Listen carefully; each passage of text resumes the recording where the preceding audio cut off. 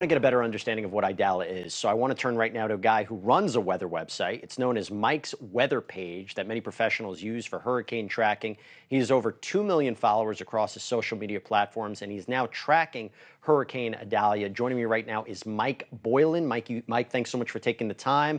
Uh, you're outside right now. Is everything boarded up?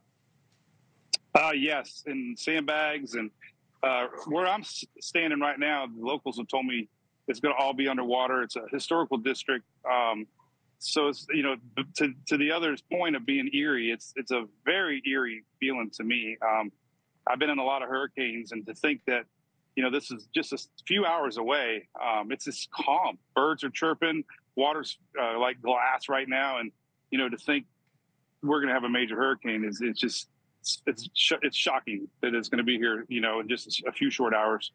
Yeah, I mean, in 24 hours, unfortunately, I think the scene is going to look a lot more different. What makes Hurricane Idalia different, though? What makes it particularly catastrophic?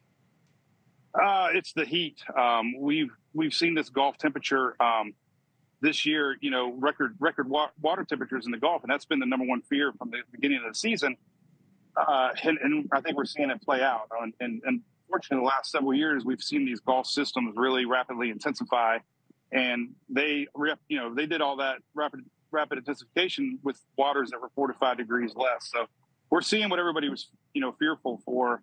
Um, and you know this part of the area too has never experienced a storm uh, ever, and it's pushing that water into like a little bowl, uh, and magnifying that storm surge. And you know, talking to um, uh, Kevin Guthrie the other day, you know, they're really concerned with the surge, but also power loss. And this part of the uh, Florida has a lot of oak trees, pine trees. They're they're thinking millions of customers are going to be without power, uh, and that's going to go all the way past Interstate 10 towards Florida Georgia line.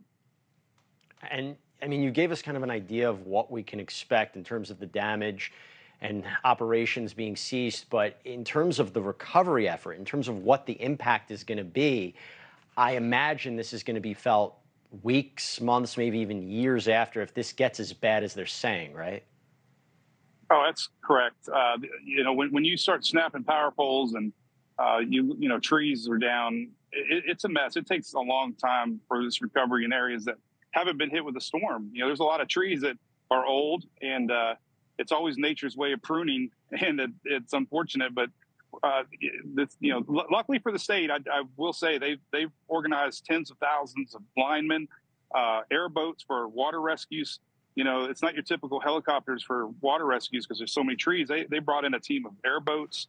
Um, I mean, they're expecting the worst. Um, in, inland flooding is a really major concern with the amount of rain that we got uh, with the Suwannee River region up here.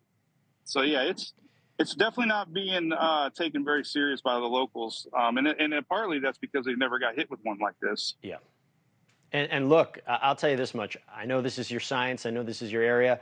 I hope you're 100% wrong. I hope it does not turn as bad as everybody's saying, and I hope the locals are right. But we're just wishing everybody to stay safe, hunker down, and prepare for what might come. Mike Boylan, thank you so much for taking the time and explaining a little bit more to us about what we can expect.